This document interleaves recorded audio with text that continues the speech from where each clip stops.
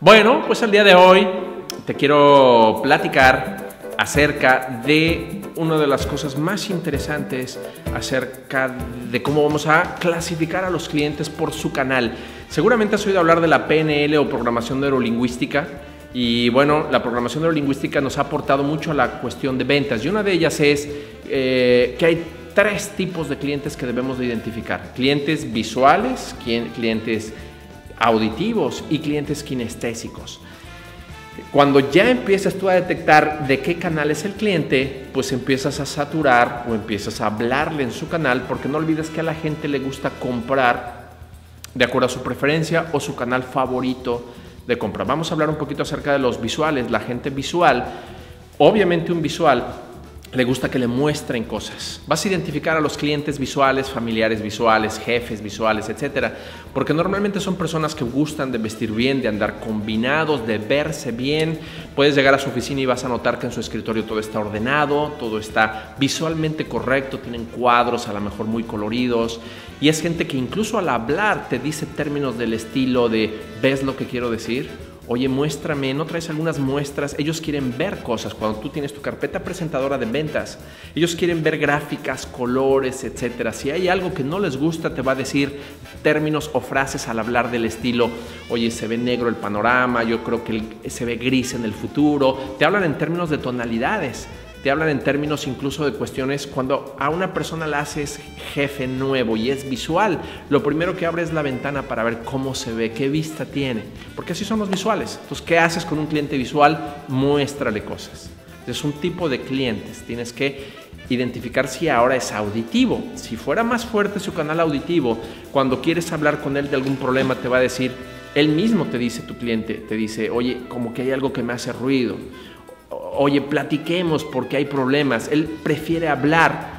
su canal favorito es que le digas, cuando le muestras tu carpeta presentadora de ventas, él te la va, a lo mejor no la va a pelar mucho, no le va a hacer mucho caso, te la va a devolver y te va a decir, a ver, ¿de qué se trata? A ver, platícame, porque ellos prefieren que hables.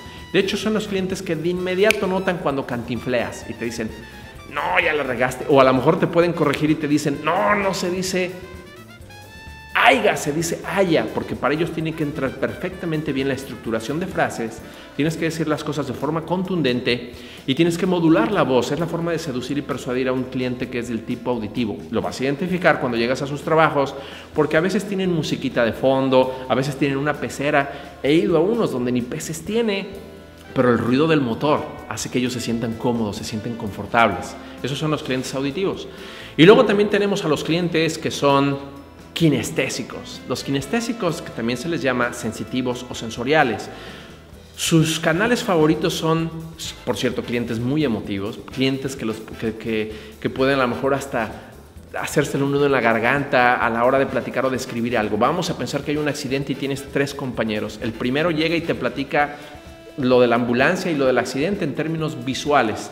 Te dice que le dio pavor ver sangre correr, él vio y te platica las escenas de lo que él vio, pero el auditivo te va a decir que era desgarrador oír a la señora gritar pidiendo auxilio y hasta muy lejos se oía la ambulancia que venía ya a rescatar a la gente. Y el kinestésico a la hora de querértelo platicar, tal vez se le haga un nudo en la garganta y a lo mejor ni pueda, a lo mejor quiere llorar, a lo mejor le impactó demasiado. Vas a reconocer también un kinestésico porque muchas veces al hablar contigo te toca, porque los kinestésicos son mucho de contacto. ¿Cuántas veces hay alguien que al hablar te quiere como tocar y que ya te hace un surco y dices, ya? Es gente muy cálida, es gente muy emotiva. Cuando haces a un jefe nuevo y que él es kinestésico, lo primero que hacen al llegar a su escritorio es sentarse en el sillón y decir, ay, qué gusto esto de ser jefe. Y por eso gente así a veces los ves en el restaurante que se quitan el zapato, pueden ser hasta de clases altas, gente educada, y están jugando con él, porque un kinestésico siempre prefiere comodidad a verse bien, por ejemplo, que puede ser antivisual. Un visual siempre va a andar impecable, un kinestésico se va a desabotonar la corbata, las mangas de la camisa para arriba y va a sentirse a gusto. ¿Cuántas veces ves a un kinestésico que le dices, oye, sus zapatos ya están para tirarlos? Y te contesta, pero vieras que a gusto ando, porque ellos siempre van a preferir comodidad a verse bien. ¿Por qué es importante saber? Porque cuando te hagas experto y sepas identificar visuales, auditivos y kinestésicos, vas a poderles vender en su canal. A un visual y vendes coches, le debes decir del color, de la línea, que qué tal se ve la presentación del, del coche o del auto. A un auditivo lo tienes que subir. ¿Cuántas veces un auditivo cuando va a comprar un seminuevo, lo primero que hace es hasta aprender la música? Y si salen sus canciones favoritas de Rigo Tobar o de Duranguense, dice, qué buen carro. Ellos asocian porque oyen cosas agradables. Y un kinestésico, ¿qué le debes decir? Siéntase, ¿a poco no está a gusto este coche? Y involucrar otras emociones. Aspire, ¿qué tal huele? ¿Cómo se sentiría usted que vaya manejando? Y que tienes que hablarle hacia un kinestésico. Cuando logres identificar el canal de cada cliente y hablarle en cómo a él le gusta comprar, tus ventas parecerán magia y vas a incrementar muchísimo tu impacto con tus argumentos. Bueno, soy tu amigo Marco Antonio Trujillo y espero verte en una siguiente cápsula de información.